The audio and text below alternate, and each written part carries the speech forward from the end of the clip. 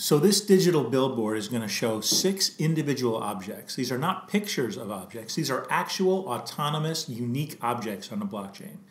These objects move from one place to another and are unique in that they can only be in one place. When I take one off of there, it no longer exists in that billboard. Now I have it.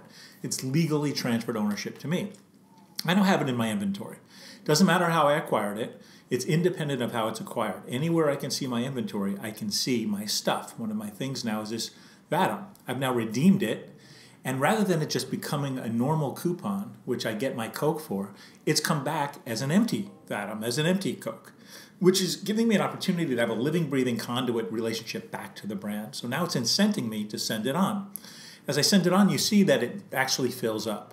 So it's giving me more and more value the more I share. What's interesting is what I sent it, who I sent it to was this person who is not in the system at all. That's an email that they got that says so and so gave you a Coke.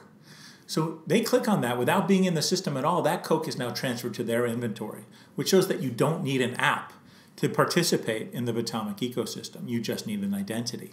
He took that Coke, it had it in his identity, he now sent it back to the person who sent it to him, and you see how these objects flow seamlessly without friction between users. Another example that we want to show is that this Coke, now that it's being filled up, fills up more and more the more you send it, to the point where when it fills fully up again, it might realize into a new type of offer, further incenting you in that behavior. So you can see that these objects have their own incentive behaviors, they have their own um, identities, they're independent, they can only be in one place at one time, and they're redeemable. Other thing that we can do with them is we can actually drop them on the map.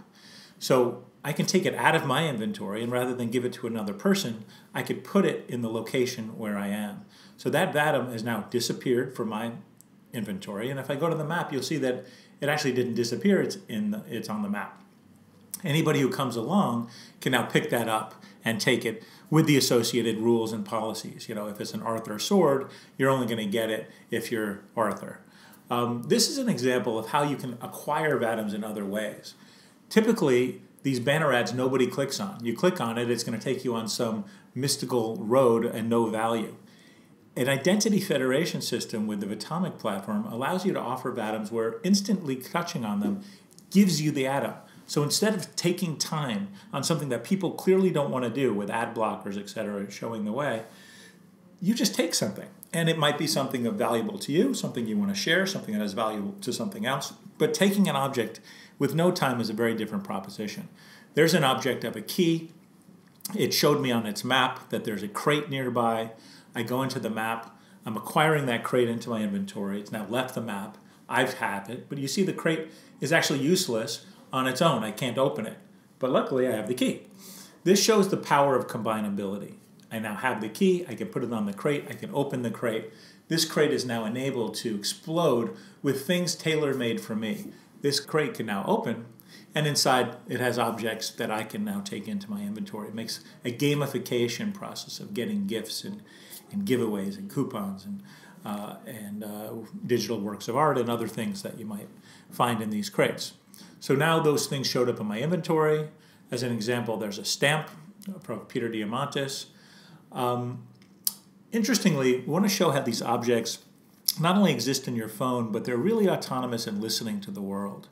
Uh, this stamp, for instance, could turn into a pizza if um, if a certain offer comes around. In this case, it's listening to Twitter. So we tweeted something, it heard that on Twitter, grew a mustache. You can imagine a baseball card turning into a taco if someone hits a home run, or if the Lakers get over 100 points. You know, there's a there's an action that these are individually addressable atoms can uh, change state and assume different types of value postures. So in this case, uh, we're tweeting again, uh, turning off the mustache, and uh, it's listening to Twitter. It heard it, the mustache disappears. So this idea of having an event bus where these objects not only are unique, independent, and authenticatable, but they're listening to everything the weather, the sports scores, the stock market, and they change accordingly. They also can change based on what other atoms you have in your possession, or you know any number of things you can imagine. Uh, here's an example of a number of different types of atoms that if you don't want them or if you want to trade them for something better, you throw it on the exchange. Here's a coffee I put on the exchange. Here's um, a, another user who sees that I'm, I'm going to offer them a hamburger for that. And you see that the exchange then can set up various types of barter transactions.